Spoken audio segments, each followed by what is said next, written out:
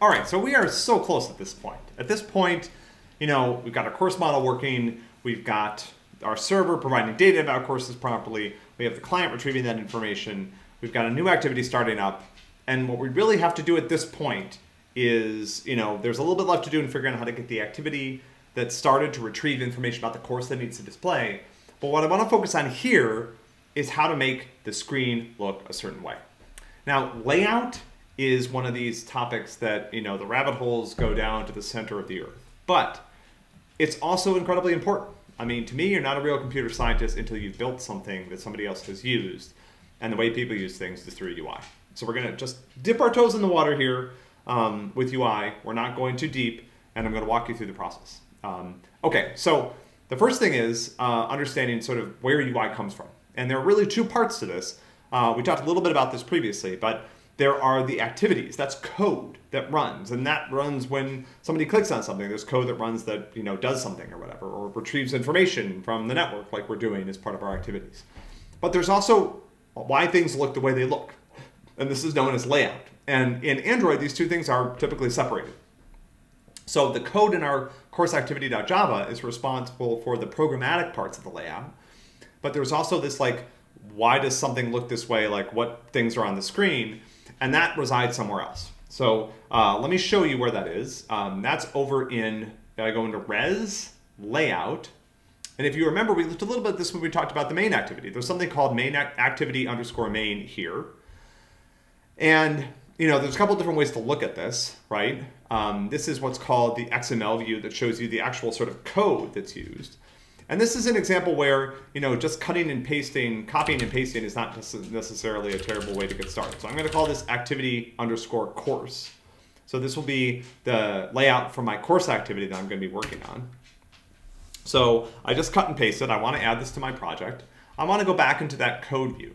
Um, now what I'm going to do here is I took this uh, starter code, but I'm going to strip out most of it.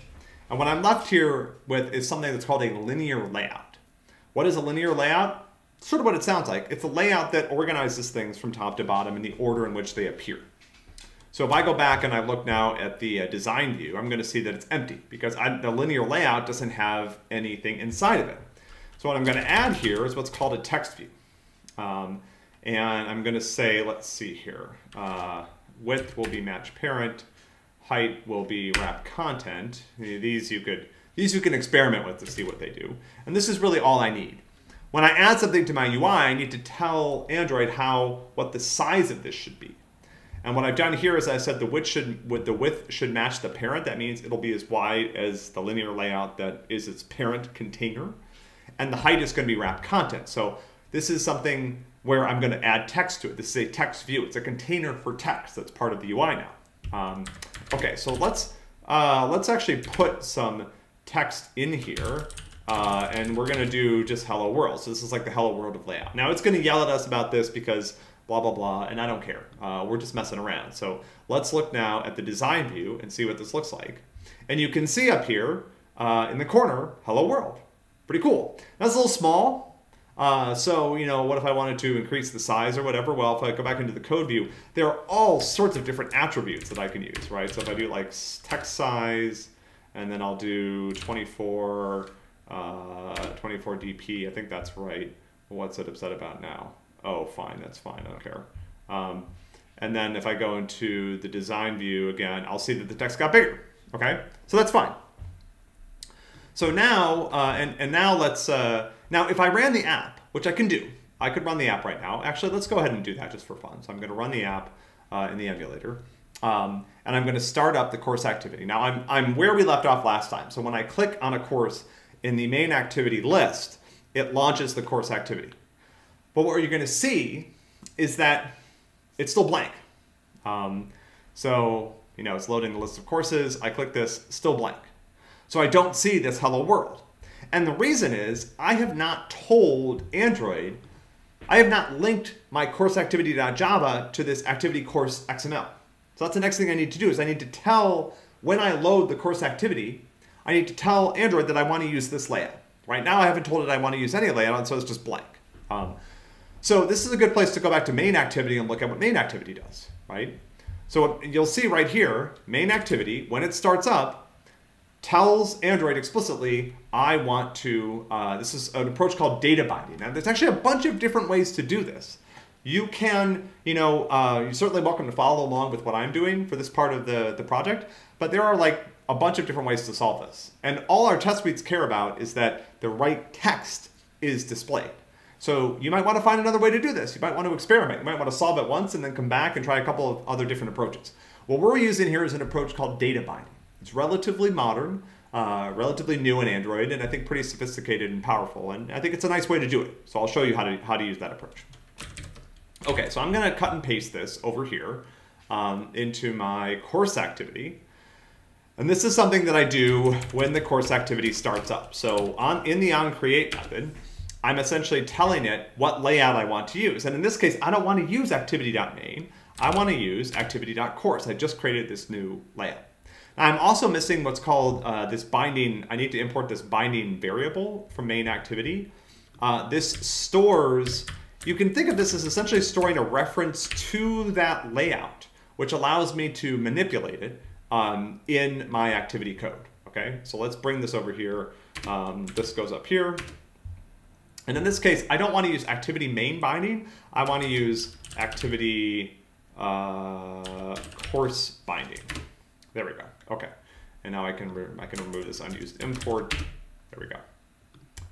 All right. So now what's going to happen, I'm going to rerun this, and we're going to see that when I click on a course in the list, I get the right layout. So I'm going to open the layout that says whole hello world, um, which is a good start. The next thing we're going to do is we're going to start talking about, well, what if I wanted the text to be a little bit different, right? Uh, okay, so I'm loading, I'm loading, I load this up. Uh, there we go. Okay, cool. Now, we're, we're, we're sort of headed the way, we're, we're headed there, right? We're headed where we need to go, right in the right direction. We have something that has some text in it, but the problem right now is that text is hard-coded. And what you're going to do is you're going to create a course activity that displays information about a specific course. Now, getting that information into your on into your activity is sort of uh, one of the challenges for this part of the MP. But what I'm going to do here is just show you how to manipulate the text that's shown so that you can do that when the time comes. So let's do that. Okay, so I have this binding, um, and it turns out, oh wait, I forgot. Something else I need to do before I get here, which is that this text view component, I need to give it a name. I need to have a way of referring to it because what I want to do in that code that I was just looking at in course activity is I actually want to say this text view's content should change. And when you're done, you're going to actually have several text views with different information in them, and you want to make sure you have the right one. So what I'm going to do is I'm going to add an ID, and it's going to, uh, let's see here, suggest this for me, and I'll call this uh, text view or something like that, right? And that's totally fine, right? You can call this whatever you want. Maybe I'll call this title, right? That's a little bit of a, uh, a hint, for what you might uh, do with this piece of information, what you might do with this text view. Okay, now that I have this, I can go over here and I can say binding dot title dot, and now I have ways to, to manipulate this programmatically, right?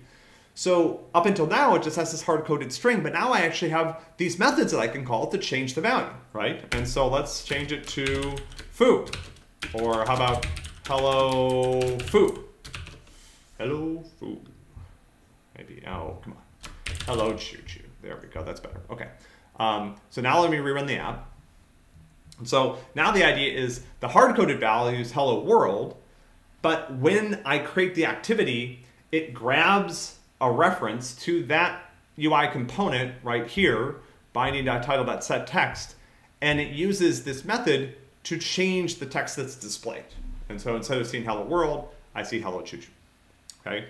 So again, we're, we're, we're leading you very close to, to the right direction here. We're not there yet. Uh, you still have work to do, but this should give you an idea of how to get started. Okay, so from here, where, you know, and, and I'm assuming at this point that your course model is working properly, that your server routes are working properly, that your client get course method is working properly. Until you pass those parts of the test suites, don't attempt this part of the, the, the, the project because it's, you're, you're, it's not going to work. Um, once you've done those things, um, what you need to be able to figure out how to do is how do I get information from the main activity to my course activity so that the course activity can retrieve information about the course by calling get course. When get course returns, I have a course object. That course object will have fields in it like a year and a title and a, a number and a description. And what I need to do is use those fields to modify the UI. So I know how to modify the UI, and I have a little bit of information. I just have an example of how to create a very simple UI that just has one text field. All our test suites care about is that your UI displays the title and the description of the course that was clicked. That's it. As long as you do that, we're cool. The font sizes, you know, font choices, layout on the screen, stuff like that, that's all up to you. You just need to be, uh, display those two pieces of information. Okay, so you're off to a great start. Uh, this is a really cool part of, of this project, is actually dealing with UI. A lot of people find this very frustrating. A lot of people are like, oh man, this isn't programming. But again, if you don't know how to do this, you will never actually be able to build something that people can use. Your code will always be trapped behind some in some weird system that no one is uh, willing to, to deal with. And the fact is, you know this from experience. UI matters. The things that you use, Android Studio, your computer, the visual layout, the UI is incredibly important. And there's so much richness and really, you know, uh, some powerful design principles that come into play in this space. We're certainly not going to spend a lot of time on this. There are whole courses that you can take about effective user interface design, but you do get a chance to design a user interface in this class, which I think is pretty neat. And we'll continue to um, iterate on this over the next checkpoint. So good luck uh, with this. Good luck wrapping up uh, this part of the MP. Uh, you're doing great. Uh, if you need help, you know where to find us.